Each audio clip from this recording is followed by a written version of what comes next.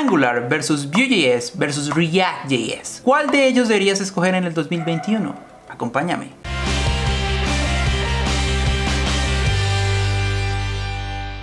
Hola mis queridos hackers, hoy os voy a hablar sobre estos tres frameworks que mencioné al principio y voy a comentar una serie de guidelines, de guías que ustedes pueden usar a la hora de decidir cuál va a ser el siguiente framework o librería que van a aprender para su desarrollo frontend. Pero mi querido nómada digital, no dejes que un solo video de YouTube Decida toda tu carrera por ti. Investiga también por tu cuenta y busca cuáles son las ventajas y desventajas de los diferentes frameworks ahí afuera. Lo que te vengo a dar en este video son los que en mi experiencia son los criterios que podrías tener en cuenta a la hora de elegir uno de estos frameworks como siguiente paso para aprender en tu carrera. Y comencemos por Angular, este framework de Google que es muy muy famoso especialmente en Latinoamérica. Ahora, cosas a tener en cuenta sobre Angular. Lo primero que hay que tener en cuenta es que Angular tiene la mayor curva de aprendizaje de los otros tres frameworks. Y si todavía estás un poco incómodo con JavaScript, no te sientes del todo fuerte en JavaScript porque tal vez estás ahora aprendiendo, hasta ahora eres un junior developer que no ha conseguido su primer empleo, puede que empezar con Angular como primer framework no sea la mejor idea porque te va a quemar un poco el coco todos los nuevos conceptos que vas a tener que aprender, como lo son Dependency Injection, TypeScript y RxJS. Ahora, no siento que deberías dejar de aprender este framework solamente porque es el framework más difícil de los tres. Que si te lo propones realmente vas a lograrlo, vas a aprender a utilizar Angular como tu principal herramienta de trabajo. Y hay una condición especial, hay unos desarrolladores especialmente calificados para aprender este framework, que son los desarrolladores que vienen de Java. Si ya has estado trabajando en Java, ya sea para desarrollar aplicaciones en Android o ya sea para desarrollar aplicaciones para diferentes negocios, creo que TypeScript te va a ayudar a hacer el salto desde Java hacia TypeScript de manera sencilla. Las personas que ya han trabajado en Java conocen muy bien los conceptos de los cuales Angular se la pasa hablando, como el tema del dependency injection. No importa si eres junior, no importa si ya tienes algunos añitos de experiencia en desarrollo frontend, si estás buscando darle una perspectiva fresca a tu vida y si estás buscando conseguir trabajo en Latinoamérica, Angular es muy buena apuesta en general. Ahora hablemos de mi framework favorito, Vue.js. Si tú me lo preguntas a mí, para mí Vue.js es el mejor framework de los tres. Sin lugar a dudas, es el que es más fácil de disfrutar desde el lado del desarrollador. Cuando tú estás haciendo código con Vue.js, lo que me he encontrado es que la mayoría de desarrolladores que lo prueban sienten un poco más de felicidad al estar trabajando con este framework, es la librería. Ahora, Vue.js tiene la menor curva de aprendizaje. Es el framework que es más fácil de aprender si eres una persona novata. Si estás hasta ahora empezando con este tema los frameworks por componentes y estas nuevas tecnologías para hacer aplicaciones, tal vez Vue.js sea la mejor opción para aprender en primer lugar. Pero hay un contra bastante grande y es que Vue.js, a diferencia de Angular con Google y de React con Facebook, es que no está soportado por ninguna empresa grande. Básicamente es el creador de Vue.js y una comunidad detrás de él. No hay ninguna empresa gigante que esté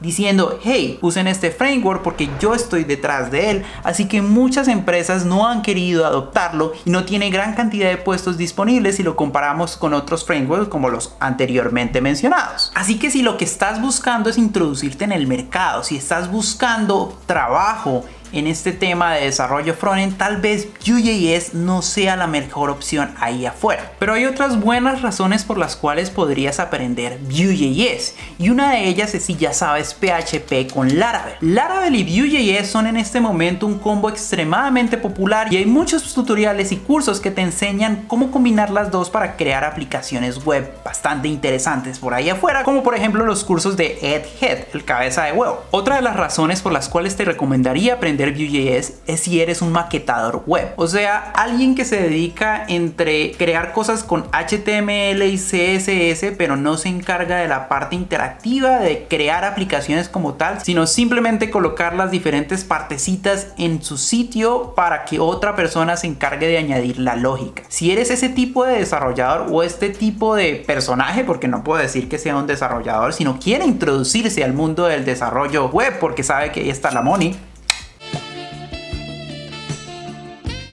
puede utilizar Vue.js como una de las grandes opciones para introducirse en este mundo, porque Vue.js es muy similar a lo que normalmente trabajas en HTML y CSS y no se inventa nada nuevo como lo es TypeScript o como lo es JSX en el caso de React. Y la última razón que te doy es que si ya sabes otro framework, aprende Vue.js. La verdad es bastante bonito y hay empresas grandes detrás de él trabajando, por ejemplo GitLab. Y un último comentario con respecto a las diferentes comparaciones de qué framework aprender que hay ahí afuera. Muchas personas se quejan de que Vue.js no escala, pero nadie es capaz de dar una buena razón de por qué esto sucede. Yo siento que la excusa de que Vue.js no escala es algo que alguien dijo alguna vez y que todo el mundo está repitiendo ahí afuera, así que no le hagas caso. Vue.js para proyectos grandes escala muy bien lo están utilizando en GitLab, que es un proyecto gigante. Así que no puedes quejarte de que no puede ser usado en un proyecto bastante grande. Y vamos con el titán del momento, React.js. Esta librería tiene una curva de aprendizaje media, no es tan alta como Angular y no es tan fácil como Vue.js en el promedio de la gente. Y tiene un temita que es el JSX, donde combinan JavaScript y le meten por dentro HTML para crear un híbrido que puede ser muy conveniente en algunas ocasiones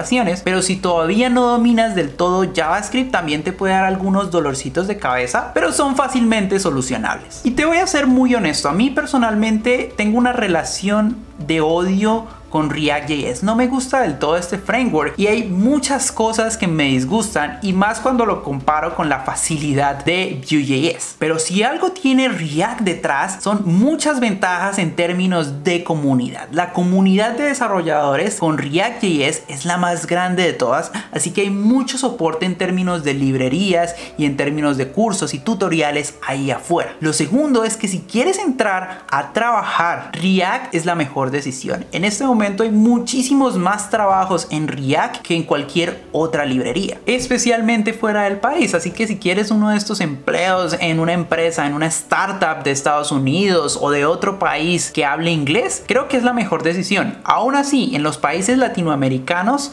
React.js también es extremadamente popular y además las empresas que están buscando desarrolladores en Angular normalmente también contratan desarrolladores en React.js a menos de que estén buscando un puesto de senior developer en Angular. Y React viene con otra ventaja que es React Native, que es una librería muy popular para crear aplicaciones híbridas que utilizan JavaScript para crear experiencias en mobile, tanto en iOS como Android casi al mismo tiempo. Yo hablado mal en ocasiones anteriores acerca de las grandes desventajas que tiene React Native, pero también es una librería muy popular ahí afuera y creo que entre todos los frameworks en este momento probablemente el que más avanzado y el que más ha logrado conseguir ese punto dulce donde puedes utilizar todo el código en JavaScript para hacer casi todo lo que necesites en los entornos mobile, creo que es la librería que mejor lo ha conseguido. Así que bueno, si realmente no tienes ni idea dónde aprender y quieres realmente meterte en la industria del desarrollo frontend, comienza por React.js. Es probablemente la mejor decisión. Y bueno, mis queridos hackers, espero que este video les haya gustado. Espero que este video les vaya a ayudar para ustedes decidir cuál va a ser su siguiente decisión. Pero recuerden, investiguen un poco más, busquen en otros lados cuál es la mejor decisión o en vez de eso, también lo que pueden hacer es ir directamente y aprender uno de estos frameworks, cualquiera que sea. No dejes que la pensadera o estar buscando tomar la decisión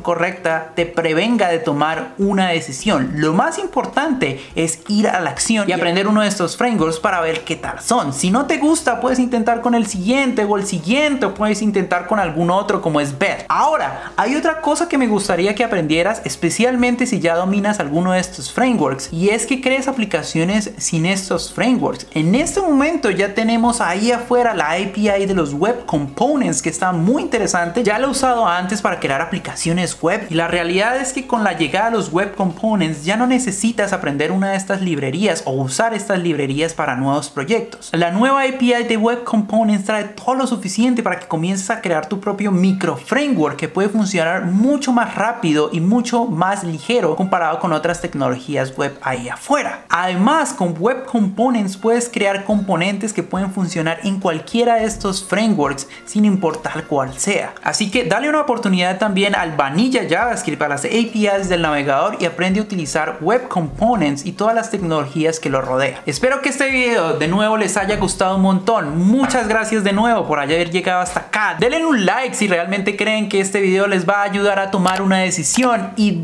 coméntenme qué decisión tomaron. ¿Qué van a aprender? ¿React? ¿JS? ¿Angular? ¿Web Components? ¿Vanilla JavaScript? ¿No están aprendiendo frontend y llegaste a este video y no sabes por qué? Dale un like también y dímelo también en los comentarios. Muchísimas gracias mi querido Noma Digital y nos vemos en un próximo video. Hasta pronto.